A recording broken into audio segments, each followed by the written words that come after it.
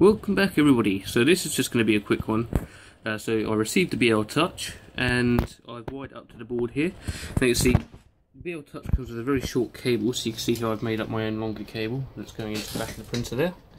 You just about see the BL Touch under there. Sorry if this is shaky. So we wire it up to the servo here. If this wants to focus, would be nice. And you can see we've got the three pins which is the ground the 5 volts and the signal. And then the other end of the BL Touch is wired up to the Z end stop.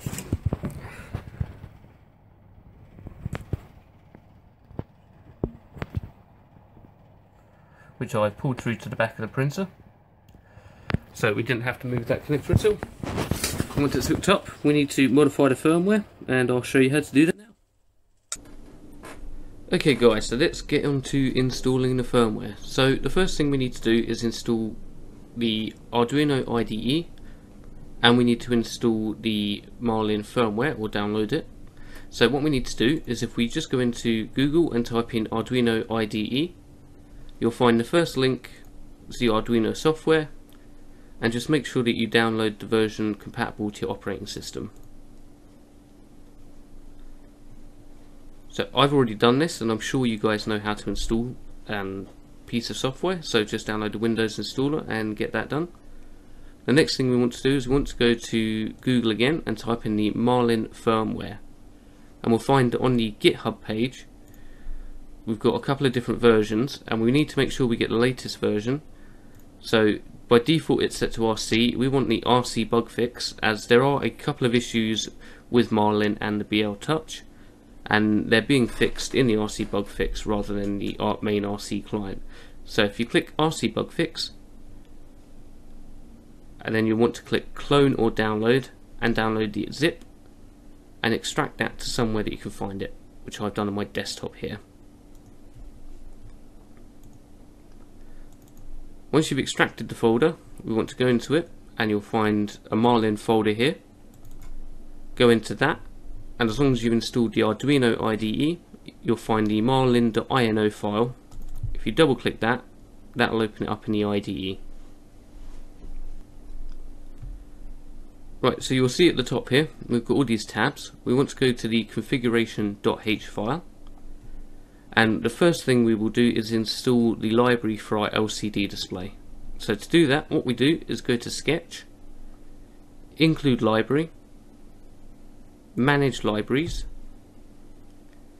And after it's done its update down here you want to type in the top search U8 GLIB and you'll see the U8 GLIB down the bottom here. You want to select your version as 1.18.0 and click install. I've already done this so it's grayed out. Once that's done click close and then go to sketch again include library and down the bottom here you'll see U8 GLIB and you'll see it includes that at the top here. The next step is we want to set which board we're using. So if you scroll down to line I think it's line 135 you'll find motherboard. Here we go. And at the moment it's set to ramps but there is actually a specific config for our board this tells the, uh, the firmware which pins to use. So we change that to motherboard space board underscore SainSmart underscore 2 in 1. And then we need to scroll down again. And once what we'll find is the thermal settings and we need to tell the firmware that we actually have a thermistor on our beds because we do use heated beds so we've got temperature sensor 0 which is our hot end therm thermistor and we want to set our temperature sensor bed to 1 to tell it we have one there as well. Next we'll scroll down again. Until we find the defined end stops. And because we're using mechanical end stops not optical end stops we need to invert the X and the Y end stops. So to do that you just set false to true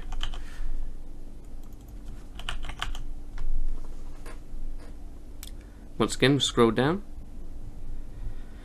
And we'll find these three lines that we have to change here. So these are the steps per unit. Um, most of you probably already know how to change your E-steps, but we need to do this for all of our motors. Uh, I'm using the default motors that came with the Wanhao i3 version 2. So the x-axis is 80, that's correct. Y-axis is 80, that's also correct. The z-axis, if you set, leave it at 4000, your printer will scream when the z-axis moves. I found this out the hard way. So we want to reduce that from 4000 to 400. And the extruder motor is our E-steps, as most of you will have calibrated. So you can either put your default E-steps, which on the board is 96, um, if you've calibrated your E-steps, you want to put that value here. So my E-steps came out to 98. Yours may be different. Next, we need to change our default max feed rate. So we can actually up these a bit. So these can be 500, 500, 20, and 50. And then our max acceleration we need to turn down. So that'll be 1000. 800, 100, 10,000. Those values should work fine. And once again, we need to scroll down to our jerk. Now, you probably set your jerk before, but I'm going to set these to just a lower value just to be safe. So that's going to be 10 on the X, 10 on the Y, 3 on the Z, and 5 for the E.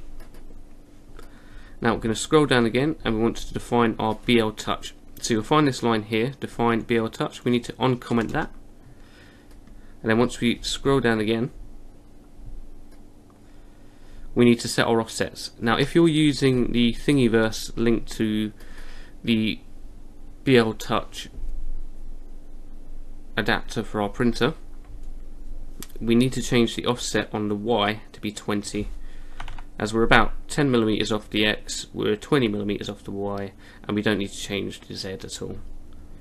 Next thing we also need to do is decrease the XY probe speed to 4000. And once again, scroll down to find the next value. You'll find Z clearance deploy probe, which is set to 10. We want to up that to 15. And clearance between probes is to 10. This is just to reduce the BL Touch from erroring out as much as it does on the current version of Marlin. Once again, we need to scroll down.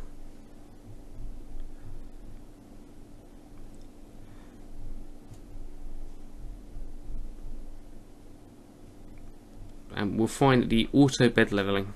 Now what we need to do is uncomment the middle option, which is auto bed leveling linear. This gives us nine point, a 9 point probe in a 3x3 grid. Now if we scroll down again, we need to change our positions so that the probe doesn't go over the edge. So we'd set our left to 10, our right to 185, our front to 20, and our back to 155. And this is just that when it's probing, it doesn't go over the edge of our bed at all. And we also need to do the same just for our uh, ALB probe here. Change that from 180 to 160. Once again, if we scroll down and find our next settings, now under additional features, we have EEPROM, and we want to define that, uncomment it. That's because um, every single mount for the BL Touch is different, everybody's bearings are different, and you will get a different offset value, um, which you will have to modify in order to get the BL Touch working properly with your printer. Uh, I will explain how to do that in another video. Once again, if we scroll down, we need to find our next set of settings.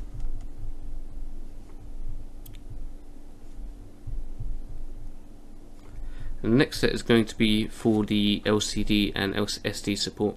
So we need to scroll down to LCD type and uncomment the dog LCD, which is a full graphics display. That's the LCD that I've ordered.